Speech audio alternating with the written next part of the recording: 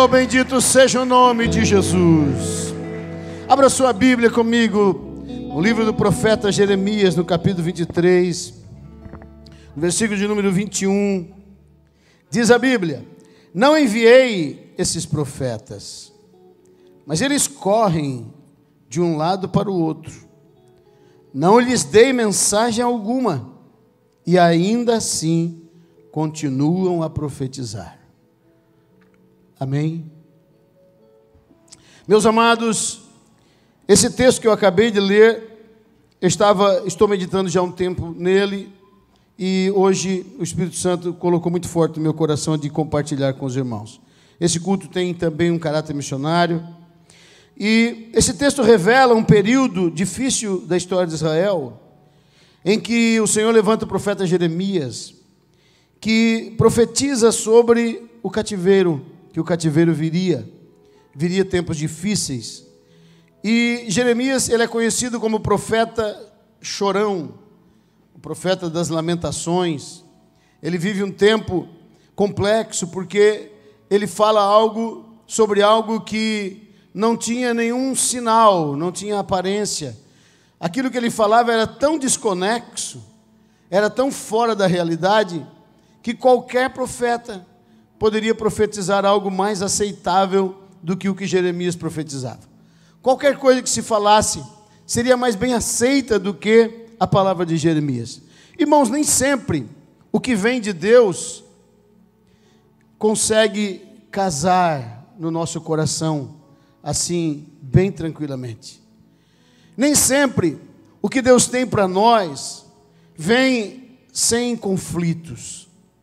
Às vezes o que Deus tem para nós entra em conflitos com meus pensamentos. Às vezes o que Deus tem para nós entra em conflito com os meus planos. Entra em conflito com a minha própria visão sobre a vida. Entra em conflito com o meu futuro, com a forma como eu penso, com aquilo que eu estou vendo. Por exemplo, nesse tempo agora, qualquer profeta que falar de caos, ele será bem aceito. Qualquer pessoa que levantar qualquer mensagem, que não seja uma mensagem de esperança, vai casar muito bem nos corações, tanto que quatro pessoas essa semana suicidaram-se em Jaraguá do Sul. Quatro pessoas jovens, novas. Um deu um tiro no céu da boca. Então é um tempo, irmãos, em que muitos profetas têm se levantado. Muito, qualquer pessoa abre uma página no YouTube e diz: Deus me levantou. E onde está a aprovação deste profeta? Nas visualizações e nas likes. Aí está a aprovação. Tanto que, quando quer se usar um argumento para se dizer, quer ver como foi Deus que me levantou? Vê quantas likes eu tenho. Vê quantas visualizações eu tenho. pastor Manassés falou uma coisa interessante aqui. Tem muitos pastores hoje, irmãos, que a única like que ele tem é a like de Jesus. E mais nenhuma. Porque muitos hoje estão em lugares sem acesso à internet, sem poder gravar qualquer coisa. Me lembro do pastor Doronel, que eu já falei aqui. Quando o irmão lá no meio da selva amazônica convidou ele para ir pregar na rádio. E quando o pastor chegou na rádio, era uma casinha de bambu, com um aparelhinho daqueles comprados no Paraguai, um bambu bem alto, com dois alto-falantes lá em cima, e aquele missionário chamava aquilo de rádio. E quando ele deu abertura no programa, antes do pastor pregar, ele disse: Atenção, mundo! Atenção, mundo, porque agora será transmitida a palavra de Deus a todos vocês. O pastor começou a rir, não aguentou. Ele disse: Meu Deus, mas que mundo é esse que dois alto-falantes vão conseguir alcançar? Dois alto-falantes na ponta de um bambu. E ele riu e, e disse: Meu filho, o que, que é isso? Que mundo é esse? Você está me falando? E ele disse: Essa aldeia é o mundo que Deus me entregou, é o mundo que eu tenho para ganhar. Tem tantas pessoas, meus irmãos, tem tantas pessoas nesse tempo, sonhando com aquilo que, na verdade, diz mais respeito ao humano do que ao celeste. Tem muitas pessoas nesses dias com sonhos que mais, mais diz respeito às realizações pessoais do que a realização do coração de Deus. Tem muitas pessoas tão envolvidas em agradar pessoas, em fazer algo que possa realmente gerar reconhecimento público, de gerar reconhecimento popular, do que, na verdade, estar debaixo da autoridade do Senhor, dizendo: Deus me enviou, estou debaixo da autoridade dele, e o que eu estou falando não é para casar nos corações, não. O que eu estou falando é simplesmente para confirmar propósito que está no coração de Deus para o nosso tempo. Amém, irmãos? Meus queridos, e é interessante, olhe só, Jeremias ele está enfrentando o caos, por que razão? Porque enquanto ele profetiza de um lado, outras pessoas que não concordam com ele dizem: Nós vamos profetizar outra coisa, não tem nada a ver isso aí que esse profeta está falando. Só que, irmãos, a verdade ela se estabelece. A diferença é que a verdade se estabelece. A mentira, ela vai gerar conforto temporário. Ela vai gerar uma alegria temporária e momentânea, como as mensagens de autoajuda. Vai dar certo, vai dar certo, vai dar certo. Daqui a pouco não dá certo. Aquilo alimentou por um pouco de tempo. Uma alegria temporária que vai durar pouco tempo. Agora, a palavra de Deus, geradora de fé, ela está nos preparando para qualquer tempo que há de vir, irmãos. Aleluia. A palavra de Deus, geradora de fé, geradora da verdadeira esperança, ela vai nos preparar para o caos, vai nos preparar para tempos bons, vai nos preparar para tempos difíceis, para nós fazermos declarações como as que Paulo fez. Eu fui treinado para qualquer coisa, tanto para ser aplaudido, como para ser vaiado, para estar lá em cima, estar lá embaixo, para ter muito e ter pouco. Eu estou preparado, tudo posso naquele que me fortalece. Nós não podemos ser uma geração simplesmente pronta para enfrentar o melhor de Deus. Não, nós temos que estar pronto para enfrentar os piores e os melhores momentos que Deus tiver para nós. Quantos estão comigo nesta reunião? Amém? Oh, bendito seja o nome do Senhor. Será que estamos vivendo este tempo, esse tempo difícil? Meus irmãos, uma pergunta que talvez se faria aqueles profetas: quem te enviou, meu filho? Quem te enviou? Porque o profeta está declarando, o Senhor disse ao profeta Jeremias: Não enviei esses profetas, mas eles correm de um lado para o outro. Meus queridos, deve ser muito triste você entregar uma mensagem que você sabe não foi Deus quem te deu. Que você sabe, você não passou tempo diante de Deus para buscá-la. E daqui a pouco eu vou entrar nesse detalhe. Não havia nenhuma ordem no céu. O primeiro lugar onde um homem de Deus é confirmado não é na opinião pública, nem nas likes, nem nas visualizações, mas o primeiro lugar em que um homem de Deus é confirmado é diante do trono de Deus, é lá que está a confirmação de alguém que Deus chama. E eu vou dizer uma coisa a você: nunca nós precisamos tanto de homens confirmados do céu, como do tempo em que nós estamos vivendo, irmãos. Nunca precisamos tanto de homens confirmados no céu como nessa época agora.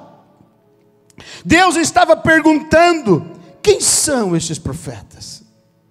Quem são esses profetas? Que eu não os conheço, pois eu não os enviei, o ministério deles não passou por aqui. Queridos, e diz a Bíblia que eles iam de um lado para o outro sem autorização. Correm, diz o texto bíblico, de um lado para o outro de um lado para o outro, porque na verdade, realmente, a preocupação de você alcançar pessoas, mexer com pessoas, a preocupação de levantar pessoas, de ter pessoas à sua volta, faz às vezes você correr de um lado para o outro e ir de um lado para o outro em busca realmente de alcançar pessoas para lhe ouvir. Mas eu vou dizer uma coisa a você: a Bíblia diz que quando Deus levantou o profeta, porque foi o último, os, o, as profecias, o ministério profético se encerra em João, diz a Bíblia que se encerra em João as profecias e os profetas. João não corria de um lado para o outro, ele se estabeleceu no deserto. E a Bíblia diz que as pessoas vinham ouvi-lo. E a mensagem de João, irmãos, era também uma mensagem totalmente contrária à sua época. Nós tínhamos, no período em que João foi levantado, uma religião coadunada com o governo. Nós tínhamos no período que João foi levantado sacerdotes comprados pela política daquela época, porque Roma é que construiu o templo novamente e por essa razão comprou junto com a construção do templo o seu sacerdócio e era simplesmente uma mistura. João levanta chamando aquela geração de raça de víboras, mas nem por isso eles correram para longe de João, eles correram para perto de João e perguntaram: que mensagem é essa que você está pregando, diferente da mensagem do nosso tempo? Irmãos, desde quando a igreja precisa estar contextualizada com o mundo? Não, a igreja tem sua identidade própria e a nossa mensagem nem sempre será uma mensagem aplaudida por todos que ouvem. Se nós estamos à procura de aplauso, irmão, não será a Bíblia o livro que a gente deve usar. Tem que arrumar outro livro, não a Bíblia. Porque a Bíblia nunca foi um livro aplaudido em tempo nenhum. Pelo contrário, foi um livro queimado, tentado destruir, tentado roubá-lo dos homens Tentaram ocultar ele da mente humana, foi isso que a Bíblia enfrentou ao longo de toda a sua história. Então, se eu encontro na Bíblia, irmãos, um livro para ser aplaudido no século em que nós estamos vivendo, essa Bíblia está adulterada, porque ela nunca foi de forma nenhuma aplaudida, e nós estamos vivendo um tempo de tanta coisa bonitinha feita por profetas. Tudo fica bonitinho, feito pelos profetas desse século, qualquer coisa que eles fazem é aplaudida, mas eu quero dizer em nome de Jesus, nós precisamos abrir os olhos, os olhos da nossa mente, do nosso coração, para enxergarmos as coisas que estão acontecendo diante de nós. Aleluia. Meus amados, quem te deu a mensagem? Seria a segunda pergunta. E é interessante que quem corre de um lado para o outro, às vezes nem sempre sabe para onde vai. Porque nem sempre, irmãos, o fato de eu estar correndo de um lado para o outro me torna alguém ocupado com Deus. Às vezes eu corro um, de um lado para o outro de desinquietação. E é interessante que se nós olharmos para Jonas, no capítulo no versículo 3, nós vamos ver um profeta também correndo de um lado para o outro. Ele pega o um navio em direção a Nínive, ou melhor, a Tarsis. Um navio em direção a Tarsis. E ele tinha acabado de ouvir uma mensagem de Deus. E Deus disse para ele: Levanta e vai à cidade de Nínive e prega contra ela. A Bíblia diz que ele levantou, como Deus disse, e foi para Tarsis. Era um homem com uma mensagem dada por Deus, mas indo para o lugar errado. Irmãos, quando a gente pensa que a mensagem de Deus, ela precisa ser bem aceita, realmente nós vamos procurar o lugar certo para ela encaixar. Não, essa mensagem não é para essa igreja aqui não, pai. Eu vou procurar outro lugar. Essa aqui é mensagem para o interior, não é para o centro. Eu vou, vou pregar mais pessoal mais simplão, que eles vão aceitar melhor essa mensagem, não em Nínive. Irmãos, não adianta querer pregar onde a mensagem se encaixa. Se nós estamos procurando um lugar onde a mensagem vai ser aplaudida e aceita, Como tem pessoas que às vezes eu já, às vezes em alguns tempos, pregadores que eu ia buscar quando eu dirigia missão e congressos, perguntavam, me lembro de um que perguntou pelo caminho, pastor, que estilo que, de mensagem o pastor seu gosta? Eu disse, da Bíblia, irmão. Não, o pastor não entendeu. Assim, tipo dele, ele é mais. Irmão, ele é da Bíblia. Se não tiver um negócio da Bíblia, eu vou falar. Pode pregar tudo que tiver na Bíblia, ele gosta de tudo que tem na Bíblia. Coitado, deixei o rapaz desconcertado. Ele queria uma direção para ver o tipo de mensagem que ia pregar. É Jonas no navio indo para Tarsis. Que Jonas no navio indo para Nínive, ele não pergunta quem está esperando ele, irmão. Ele vai com a mensagem que já casou no coração dele. Aleluia. A mensagem tem que estar aqui, meu irmão, no coração do profeta. Porque depois dela ser solta da boca do profeta, a Bíblia diz que ela não voltará para Deus vazia. Primeiro ela cumprirá o propósito para depois voltar para Deus. Agora, Muitas pessoas querem pregar e ver o resultado na hora, imediato.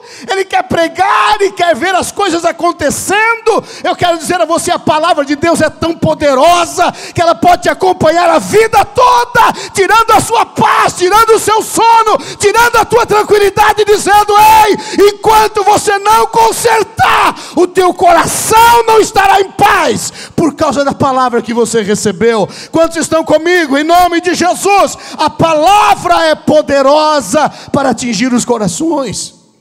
Meus queridos irmãos, quem te deu a mensagem? O povo sempre espera um profeta. Em Provérbios 29, 18 diz: Não havendo profecia, o povo perece. Porém, o que guarda a lei, esse é bem-aventurado. A Bíblia está, está se referindo ao ministério profético, à palavra profética. Mas está dizendo que observar a palavra de Deus, ela nos faz bem-aventurados. Pior do que não ter profeta, é ter um profeta que Deus não deu a mensagem. Pior do que não ter ninguém que pregue o que Deus mandou, é ter alguém que pregue o que Deus não mandou. Porque daí é mais complicado ainda. Se eu não tiver nada para pregar, eu sento ali Deus pode usar qualquer criança do templo. Deus pode usar qualquer irmão, irmãos. Porque Deus não tem compromisso simplesmente com posição. Deus tem compromisso com comunhão, meu irmão. Aleluia.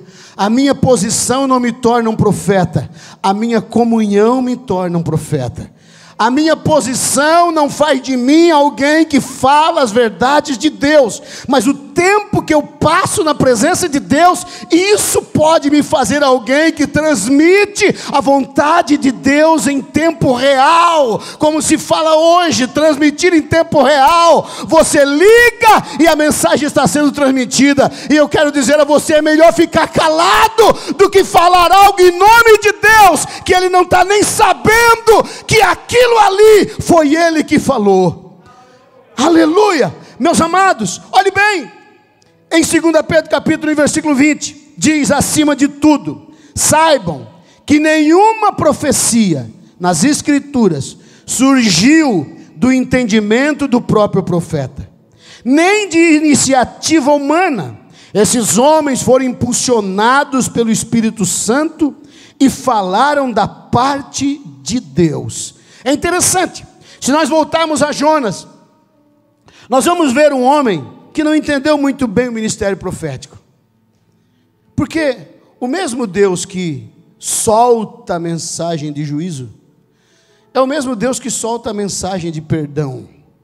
Deus não precisa, Deus não precisa mudar o profeta para transmitir a mensagem de juízo e a mensagem de perdão. Não, o mesmo profeta pode transmitir o juízo e pode transmitir o perdão. Porque como a mensagem não é gerada pela vontade do profeta, então ele não tem nada a ver com o resultado. Eu só eu só preocupo com o resultado se a mensagem foi criada aqui. Mas se a mensagem foi criada lá, então o resultado não é comigo, o resultado é com ele. Quando Jonas entra em Nínive e prega durante 40 dias nas ruas de Nínive, ou quatro dias na rua de Nínive, falando e falando e falando e falando e falando. Quando termina de pregar, diz a Bíblia que o povo se arrepende com pó e cinza, jejua, até os bichos jejuaram, as crianças. Foi um compungimento geral na nação. Deus chegou para Jonas e disse: Jonas, vou perdoar eles. O Jonas fica revoltado, meu irmão. Fica revoltado. Sobe para o alto do monte, bicudo com Deus, dizendo: Mas só o que falta, o Senhor me tirar da minha casa. Fazia eu vir pregar nessa cidade ímpia, arriscando a minha vida, porque eu não sei como é que eles não me arrancaram meu couro aqui nessa cidade. E agora o Senhor vê com essa conversa de perdão para mim. Não, isso não vai acontecer, o Senhor vai destruir essa cidade. Irmãos, que bom que Deus, Ele não se emociona como nós. Deus não é levado por emoção, Deus é levado por arrependimento. Arrependimento não é emoção, irmão, não é um momento de emoção. Arrependimento é reconhecimento de pecado, reconhecimento de erro, reconhecimento de falha e tomada de posição. Isso é arrependimento. Nem toda lágrima toca o coração de Deus, meu irmão. Nem todas as vezes que você está arrependido, você está chorando. Você pode estar arrependido sem uma lágrima nos olhos. Você pode estar arrependido com tanta sinceridade, sem nenhuma lágrima nos olhos, que depois daquele dia você nunca mais será o mesmo. Porque a palavra de Deus ela não é para emocionar, ela é como martelo que rebenta a penha, ela é como chama que consome tudo que está pela frente. Então eu não estou à procura das suas lágrimas, eu estou à procura de que a palavra de Deus Deus quebre você e eu por inteiro, até não sobrar nada inteiro, ao ponto de dizer: aqui tem resistência. Porque quebrar significa tirar a resistência. Quebrar significa que aquilo que era pesado para carregar, agora pode ser carregado em pedacinhos. É melhor Deus nos carregar em pedacinhos do que Deus ter que lidar com um cara pesado demais, que é difícil de lidar, difícil de trabalhar. Escute bem, deixa eu ir em frente que eu já quero terminar para orar. Meus amados, olhe bem o texto bíblico. Pior do que então o profeta, que não tem, pior do que não ter profeta é ter alguém que não tem a palavra. O que faltou à geração profética de Jeremias? Jeremias 23, 22 diz assim: se houvessem estado diante de mim e me ouvido, teriam anunciado minhas palavras e levado o meu povo a se arrepender de seus maus caminhos e de suas más ações. Deus estava dizendo: Eu não tenho prediletos. Eu tenho pessoas que passam tempo comigo e as que não passam tempo comigo. Então, quem não passa tempo comigo não pode falar da minha vontade, Deus estava dizendo, pois não me conhece. Quem não passa tempo na minha presença, como vai falar da minha vontade? Ele estava dizendo, sabe qual é o problema desses profetas? Ele estava dizendo para Jeremias: é que eles não passam tempo comigo e querem falar do meu nome. Não passam tempo na minha presença e querem falar de quem eu sou e da vontade minha e daquilo que eu estou querendo fazer. Não vão poder falar, porque para falar de mim tem que passar tempo comigo. Nós queremos uma geração que quer tudo de Deus, menos Deus. Estamos vivendo um tempo de pessoas que passam cinco minutos em oração e querem levantar paralíticos e querem batizam com o Espírito Santo. Pastor, então batismo se paga com oração? Não, mas não sei por que Jesus diz ficar em Jerusalém, até que do alto seja revestido de poder. Tinha que ficar lá, tinha que ficar em uma atitude. Entraram 500. Irmão, 120 ficaram. Eu faço uma pergunta: os outros foram batizados? Não. Quem ficou? Quem ficou foi cheio do Espírito Santo. Deus não anda correndo atrás de você, enquanto você tem tempo para tudo menos para Deus. O Espírito Santo não anda correndo atrás de mim para me encher enquanto eu estou ocupado com um monte de coisas, menos com Ele. O Espírito Santo não vai correr atrás de mim, das minhas ocupações, porque às vezes eu tenho tempo para tudo, me envolvo com tudo e menos com Deus. E eu vou dizer em nome de Jesus: nós precisamos ter mais tempo com Deus, nesse tempo tão necessário de discernimento, eu preciso passar mais tempo na presença deste Deus maravilhoso. Se houvessem estado comigo ou diante de mim e me ouvido, teriam anunciado as minhas palavras. Meus irmãos, todos os dias surge um novo pensamento sobre Deus. Agora existe a super graça. Meu Deus, a graça já era demais. A graça já era demais. Agora você imagina uma super graça. A graça que tolera tudo. A graça que aceita os adultérios, as fornicações, que aceita tudo, tudo pode vir, porque o sangue de Jesus é tão poderoso que eu posso pecar sempre, Ele me perdoa sempre. Eu posso ter até a prática do pecado, mesmo assim, essa super graça, ela é capaz de me perdoar todo dia. É graça demais. Até para a Bíblia é demais porque eu não posso pisar no sangue inocente. Eu não posso de forma nenhuma brincar com a santidade de Deus. Eu preciso realmente reavaliar a mensagem que me converteu. Eu preciso reavaliar a mensagem profética que me alimenta. Eu preciso reavaliar que tipo de palavra está me alimentando, que tipo de Bíblia está me ensinando. Eu preciso saber que tipo de graça está sobre mim. Porque, meu irmão, a graça que me salvou foi a graça que deixou Jesus ser crucificado. A graça que me ouve hoje foi a graça que fechou os ouvidos para não ouvir Jesus no Calvário. Você já pensou sobre isso? Ele clamou e o Pai silenciou por não silenciar comigo e nem com você. Então é impossível que esta graça seja uma graça tão mal interpretada como nos dias em que nós estamos vivendo. Quem fica diante dele sempre terá algo a falar, sempre terá uma resposta, sempre terá um diferencial. Quando Pedro prega a palavra, e eles ouvem a mensagem sabendo quem era Pedro, sabendo que era um homem indouto, sem instrução profunda, sem conhecimentos profundos da palavra, olharam para o outro e disseram: Esse homem esteve com Jesus. Porque não tem como andar com Jesus e não ficar mais sábio. Não tem como passar tempo com Jesus e não tornar uma vida mais sólida, mais abençoada, se tornar uma vida bem mais diferente da vida que nós tínhamos. Onde está Deus em relação à minha necessidade profética? 23 diz: Acaso sou Deus apenas de perto, diz o Senhor? Não sou Deus também de longe. O Senhor estava dizendo a Jeremias: por acaso esses profetas pensam que eu me ausentei de Israel? Eles pensam que eu estou ausente, que eu não estou presente. Não, irmãos, o Deus que arrepia, é o Deus que às vezes sem sentir nada está te contemplando também. Deus que às vezes arranca lágrima dos seus olhos, é o Deus que nas suas aflições também é um Deus que está contemplando a sua vida e a minha vida, a nossa vida. Ele diz: Eu não sou somente Deus de perto, eu também sou Deus de longe, aleluia. Ele está de olho em nós. Ele está de olho em nós, nós somos obras das suas mãos, Ele está de olho em nós. O costume que se tem é que fumaça, tem fumaça, Deus está na casa. Seria quebrado pelo próprio Deus aqui, se não tem nuvem nem fumaça, não quer dizer que Deus não esteja presente.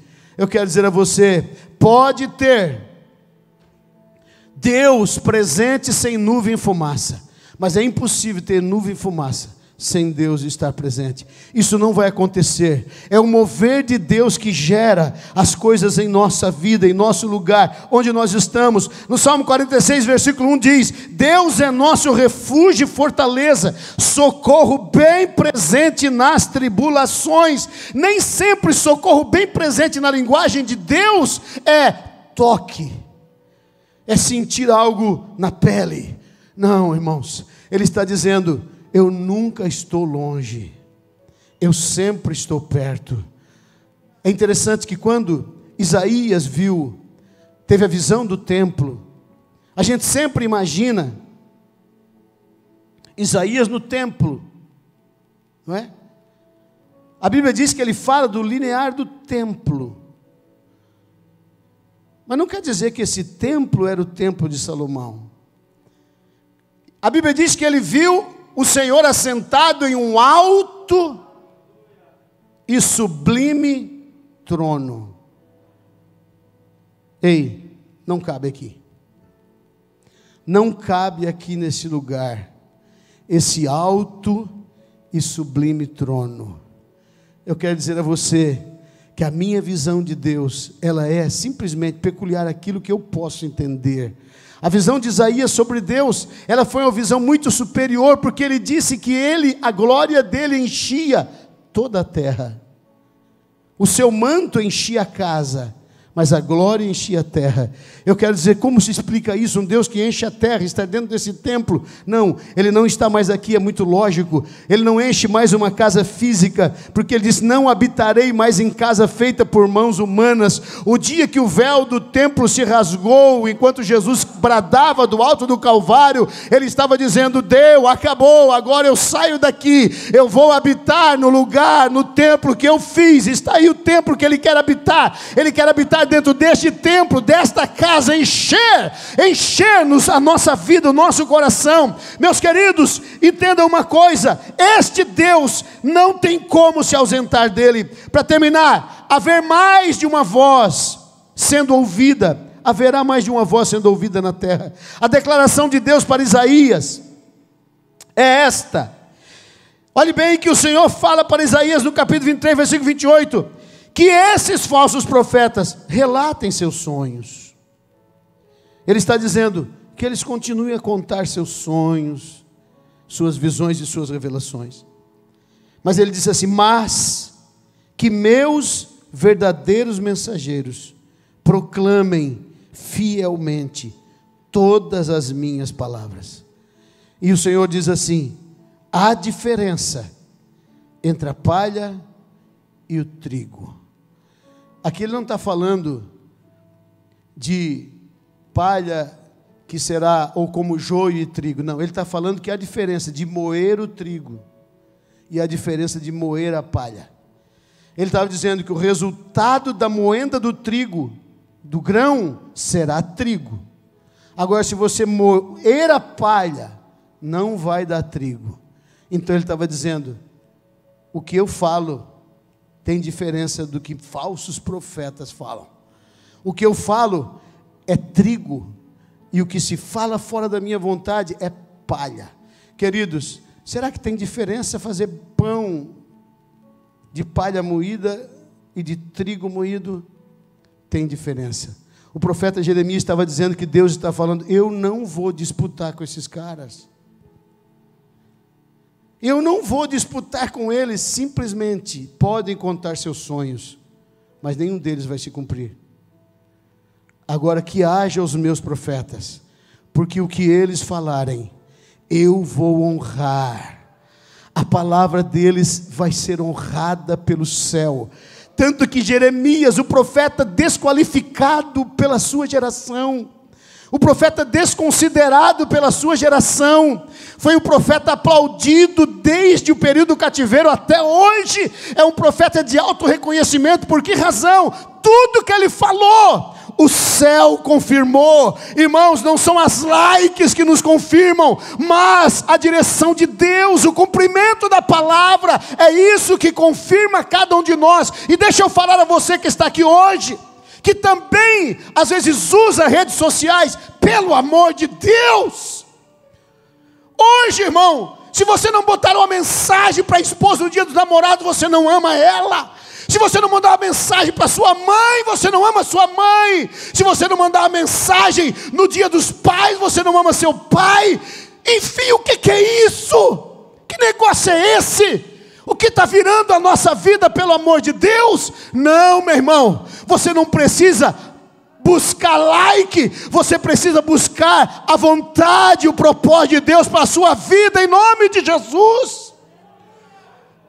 O que vai acontecer comigo se ninguém ver os vídeos desta igreja? Nada. Não vai acontecer nada, meu irmão. Vai tirar meu ânimo? Nada. Eu vou continuar pregando o mesmo ânimo, com a mesma vontade, com o mesmo interesse. Aleluia. Eu já fui para algumas reuniões com poucas pessoas, com mensagens que Deus me deu naquele momento em que eu estava preparando, de ter tão pouca gente, que dá até uma tentação de dizer assim: ah, não, não vou pregar essa mensagem aqui não. Não, não vou pregar outro dia que tiver bastante gente. Não, Deus não é assim. Eu quero dizer a você, sabe por que, que nunca Deus me deixou essa mensagem? Porque aquela mensagem é para aquele dia, para aquele momento e para aquelas pessoas que estão ali. Não vai dar certo. Eu quero dizer a você que está aqui nessa noite, nessa reunião e nesse culto, o Espírito Santo tem um compromisso tão grande com você. Tão grande com você. Se você falar algo em nome dele, que ele te deu, não se preocupe com os resultados. Resultados não são produzidos pelo profeta, resultados são produzidos por aquele que inspirou o profeta.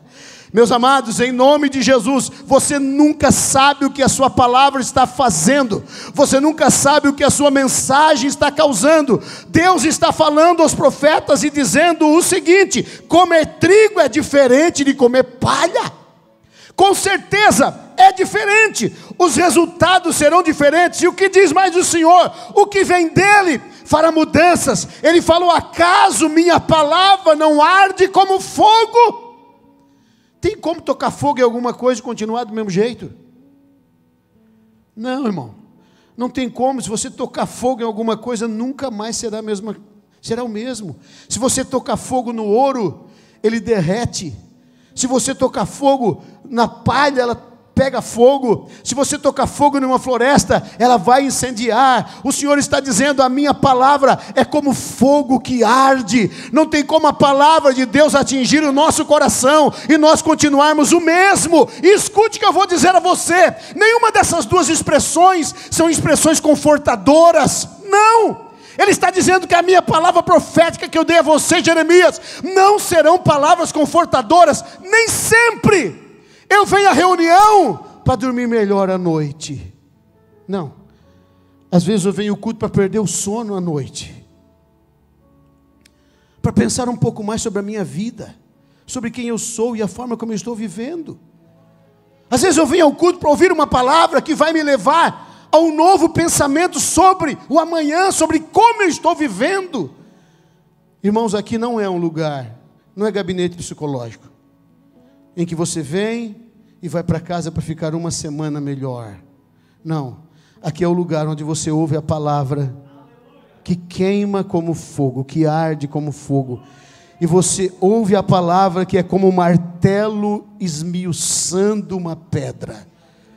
Em nome de Jesus, que eu possa abrir meu coração e dizer: Senhor, não precisa tocar fogo aqui porque eu vou deixar o Senhor ir trabalhando na minha vida. Não precisa pegar a marreta para esmiuçar essa pedra, porque eu vou deixando o Senhor quebrar ela aos pouquinhos. E eu vou dizer, todos os dias o Espírito Santo está interessado em fazer uma obra nova na minha vida, na sua vida, na nossa vida. Eu estou há 34 anos, sendo, como disse ali outro dia conversando com o Fernando, eu nunca saí de 34 anos, que bom, eu quero ser sempre novo convertido. Mas Eu quero dizer a você, faz 34 anos que o Espírito Santo está trabalhando na minha vida, e cada vez que eu prego, eu prego para lá e prego para cá, eu sinto atingir lá e sinto atingir aqui, porque a palavra de Deus, ela não vai me deixar da mesma forma que eu tenho sido, sido mas ela vai me transformar, ela vai mudar a minha vida, em nome de Jesus. Fica de pé, irmão, porque eu quero orar. Eu quero orar por nós aqui nessa noite. Eu quero dizer a você, nunca foi tão fácil. Já tem os desigrejados agora. Os desigrejados. Porque eles não conseguem mais ouvir aquela mensagem surpresa. Eles não conseguem mais ouvir aquela mensagem surpresa. O que tem para nós no culto hoje? Não. Eu prefiro formar a minha playlist e ouvir o que eu quero ouvir, com palavras muito mais bonitas, muito mais bem elaboradas. Mas eu ainda prefiro, aleluia, sentar, sentar e dizer: O que tu tens para mim hoje, Espírito Santo? O que tem nesse culto hoje para mim? Que, que a Eliúde e o Rafael têm para pregar hoje? O que, que o Vini e a Fê têm para pregar hoje? O que, que o pastor Manassés tem para pregar hoje? Senta, abre o teu coração e diga o que tu tens para mim hoje, Espírito Santo. Oh, aleluia. O dia que entrar desconfiança profética no seu coração, irmão, você se tornou alvo de qualquer falso profeta. E nós estamos vivendo, não é uma febrezinha, é uma onda terrível de falsos ensinos para todos os lados. Uma geração inteira está sendo envolvida por diversos tipos de ensino, por não saber fonte. Eu quero orar nessa noite para que o Espírito Santo proteja seu coração, proteja a sua noiva, a noiva do Cordeiro, a igreja do Senhor. A igreja do Senhor está aqui dentro. Eu não vou dizer que todos aqui são igreja de Jesus, porque ele tira a igreja de dentro da igreja, ele arrebata a igreja de dentro da igreja. Eu quero que você seja, eu quero ser igreja de Jesus, não simplesmente a Assembleia de Deus, que é o nome dado à instituição aqui na terra, mas noiva do Cordeiro, igreja de Jesus Cristo, eu preciso pertencer a ela. Amém? Eu tenho que me esforçar para pertencer a ela. Eu quero orar nessa noite. Quantos aqui querem ter um coração aberto e dizer, Senhor, não precisa bater forte, não. Aleluia. Eu me quebranto bem mais fácil. Não precisa pegar pesado, não. Porque se Deus precisar pegar pesado, irmão, não, não vai atrás dessa super graça, não. Não vai atrás dessa super graça. Deus continua tratando conosco, lutando com a nossa vida. Deus continua. Ele faz qualquer coisa para te alcançar, viu? Dá um calço, faz você arrastar o nariz no chão. Aleluia. Oh, glória. Tem expressões na Bíblia que não adianta querer fugir nem roubar, não. Eu firo e eu saro. Aleluia. Foi ele que tratou com Davi seus pecados? Sim, foi ele. Foi ele que tratou com Ananias e Safira, não foi? Foi ele. Tratou. E esse é o Deus da Bíblia. Aleluia. Levante as suas mãos para o céu. Oh, glória a Deus. Eu sinto o Espírito Santo. Em nome de Jesus, abrace essa graça bendita do Senhor, esse amor bendito de Deus. Sinta-se envolvido pelo Senhor, dizendo ao teu coração, filho, eu quero proteger o teu coração. Estou pelejando por ti, estou lutando por ti. Aleluia. Cuidado, porque nem sempre a opinião pública é a opinião do céu, nem sempre a confirmação pública é a confirmação do céu. Cuidado neste tempo em que nós estamos vivendo. Ó oh, Pai, eu oro por teus filhos nesta hora, Pai. Eu oro por teus filhos que ouvem a tua palavra, que escutam a tua palavra, que atendem para a tua palavra, Senhor.